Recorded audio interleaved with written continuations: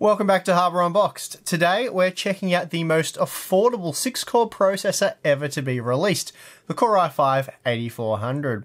Yes, it's cheaper than even the Ryzen 5 1600, though it doesn't feature hyper-threading support, so unlike the Ryzen CPU, there aren't 12 threads on offer. Still, for gamers, 6 cores should be ample, and at under $200 US, the Core i5 8400 might be the new go-to option for gamers on a budget. It is worth mentioning though, this is a non-K model, and therefore it is locked and cannot be overclocked. Therefore, consumers will be better off pairing the Core i5 8400 with a motherboard not featuring the Z370 chipset, as they are typically more expensive and really only enable overclocking for unlocked parts. AMD were a bit cheeky and somewhat annoying, it has to be said, with their chipset naming for Ryzen. I mean, B350 and X399, come on guys. Anyway, since it would cause mass confusion having both AMD and Intel with B350 motherboards that are in no way compatible, Intel decided to one up the cheeky buggers and go with B360. Bigger's always better, consumers know this, so a win for Intel. The only issue for those after B360 motherboards is the fact that they won't be available till next year. Only Z370 chipset boards will be released in 2017, which is a bit of a blunder on Intel's behalf. Also, remember that Intel's Coffee Lake CPUs aren't a drop-in upgrade for Z170 or Z270 platforms since Intel changed the alignment of the design. So for now, Core i5 8400 shoppers will have to go with the cheapest Z370 board they can dig up, and right now that means spending about $120 US. Anyway, assuming that you can pair the 8400 with a relatively cheap motherboard, it looks like Intel may have exposed a hole in Ryzen's lineup. Intel's priced the i5-8400 alongside AMD's Ryzen 5 1500X, which only has 4 cores, though it does have 8 threads, so that might place them relatively on par in terms of resources. On paper, it certainly looks to be an interesting battle, so let's go see how it plays out in the real world. Full disclaimer, we have tested the Core i5 8400 on the Z370 motherboard using DDR4 3200 memory. For now, only Z370 boards will be on sale, and it's very likely that when paired with a B360 board next year, you will be limited to DDR4 2666 or 2400 memory speeds, so keep that in mind. Anyway, for those using a Z370 board, it's possible to use DDR4 3200 memory, and doing so enables a bandwidth of 36GB per second, placing the Core i5 8400 on par with the Core i7 8700K. Moving on, we have some Cinebench R15 results, and here the i5 8400 was good for a multi-threaded score of 869 points, making it 9% faster than the Ryzen 5 1500X, and just 13% slower than the previous Intel flagship part, the Core i7 7700K. It was also 23% slower than the Ryzen 5 1600, though the single thread score was almost 20% higher. So it will be interesting to see how the Core i5 8400 and Ryzen CPUs compare in real world applications. Before we get to that though, here is a quick look at the PC Mark 10 results. This test really lacks clock speed, certainly more so than cores. As a result, the new Core i7 8700K does very well, as does the Core i5 8400, which proved to be 12% faster than the Ryzen 5 1600. The Excel Monte Carlo simulation makes good use of many cores and threads. As a result, the Core i5 8400 was 22% slower than the Ryzen 5 1600 and 5% slower than the 1500X. That said, it was a decent step up from the previous generation Core i5 7600K, completing the workload 12% faster. The Core i5 8400 also comes in well behind the Ryzen competition in the VeraCrypt benchmark. Here it was almost 40% slower than the Ryzen 5 1600 and 12% slower than the 1500X. That said, it was again much faster than the 7600K, offering around 36% greater throughput. Moving to 7-zip, the Core i5 8400 is able to just edge out the Ryzen 5 1500X in the decompression test while crushing it for the compression test. That said, it was slower than the Ryzen 5 1600 for both the compression and decompression work. Our handbrake workload doesn't agree with Ryzen, and even the Core i5 7600K beats the Ryzen 5 1500X, and that explains why the Core i5 8400 is able to match the R5 1600. That said, it was just 15% faster than the 7600K, and the reason for that being that the older Kaby Lake parts operate at higher frequencies. Content creators might be interested in what the Core i5 8400 has to offer. Testing with Premiere Pro CC showed that the Intel 6-core CPU was 9% faster than AMD's Ryzen 5 1600 in this application. Of course, you can overclock the Ryzen 5 CPU and that will no doubt put it ahead, but still an impressive out-of-the-box result for Intel. The Ryzen Graphic 27 workload shows the Core i5-8400 only trailing the Ryzen 5 1600 processor by a slim margin in Blender, while it was significantly faster than the R5 1500X and i5 7600K. However, the more extreme Gooseberry workload actually sees the Core i5-8400 perform much closer to the R5 1500X than the R5 1600.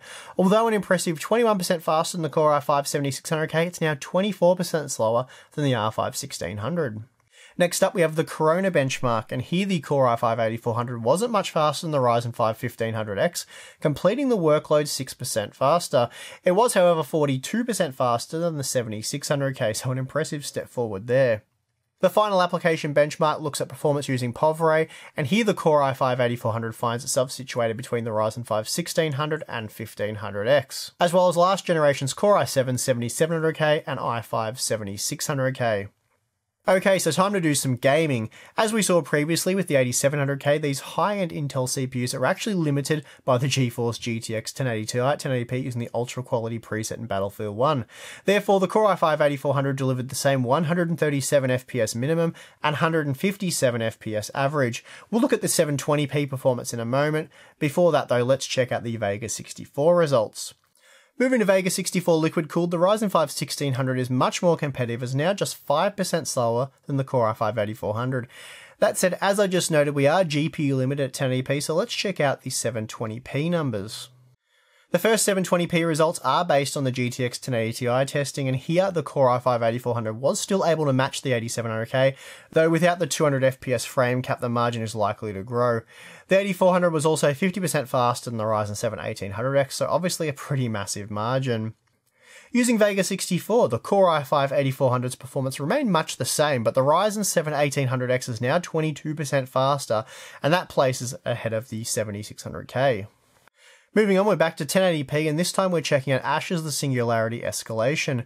Comparing the heavy batch figures, the Core i5-8400 was 11% faster than the Ryzen 5 1600 and 21% faster than the 7600K, while it was able to match the 7700K. Swapping out the GTX 1080 Ti for the Vega 64 liquid-cooled graphics card, we don't really see much of a change here, and the results are similar across the board.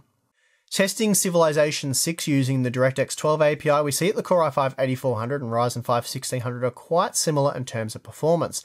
That said though, neither were much faster than the R5 1500X or Core i5 7600K either.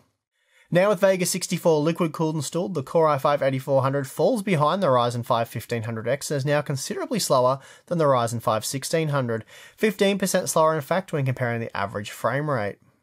Finally, we have F1 2017, and this is the last game I've tested with for this video. The Core i5-8400 matched the 8700K, and here we see an impressive 182 FPS minimum, making it 24% faster than the Ryzen 5 1600.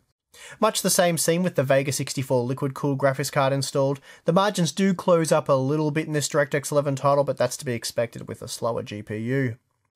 Capping off the benchmarks, here are some power consumption figures. Here we see that the Core i5-8400 does push total system draw 9% higher when compared to the Ryzen 5 1600.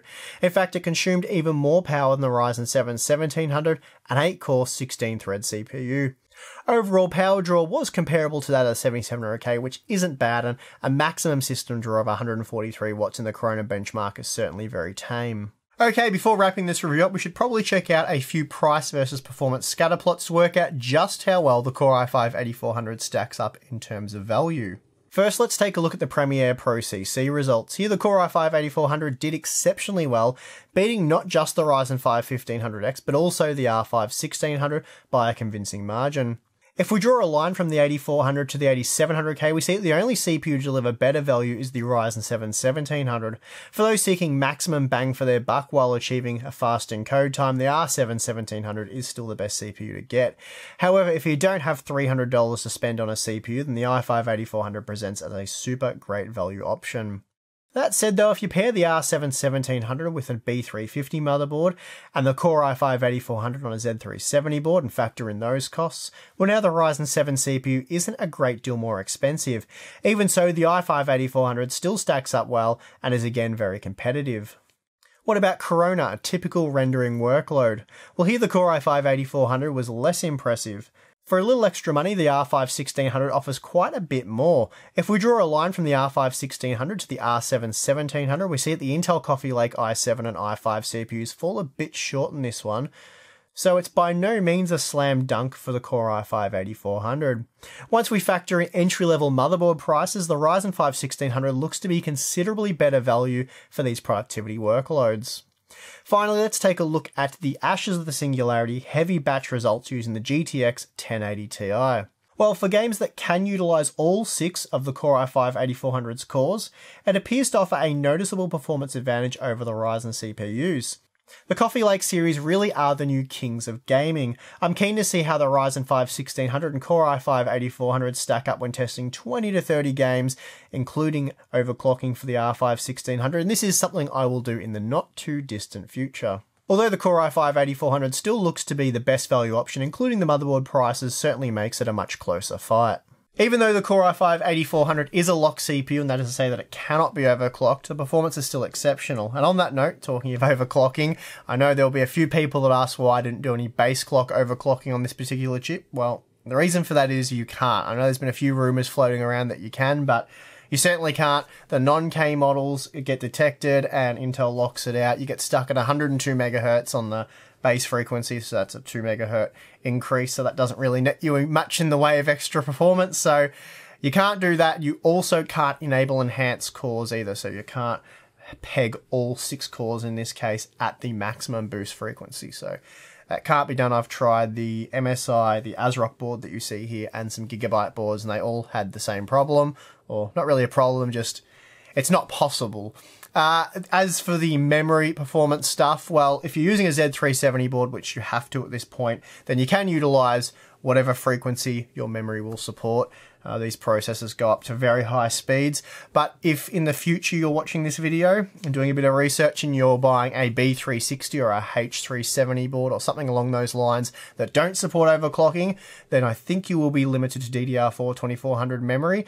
And in that case, the gaming performance will be a little less impressive. In some cases, you could lose quite a few frames, so that's just worth keeping in mind.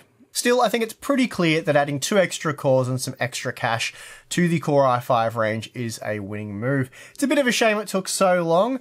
Uh, Intel needed a bit of a kick up the backside from AMD, but I'm glad AMD were able to do that, and now we have some exciting new processors to play with. Anyway, for $180 US, the Core i5 8400 is going to be very difficult to beat. Of course, we still need more affordable motherboards to really capitalize, but things are certainly looking good.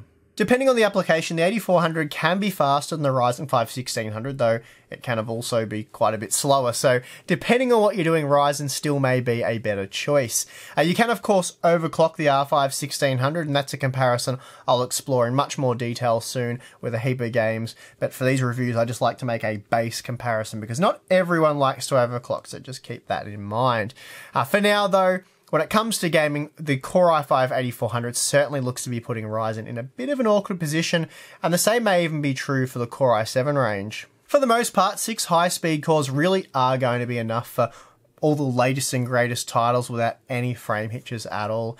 Even those seeking extreme frame rates for high refresh rate gaming shouldn't have any problem with these new Coffee Lake Core i5 CPUs.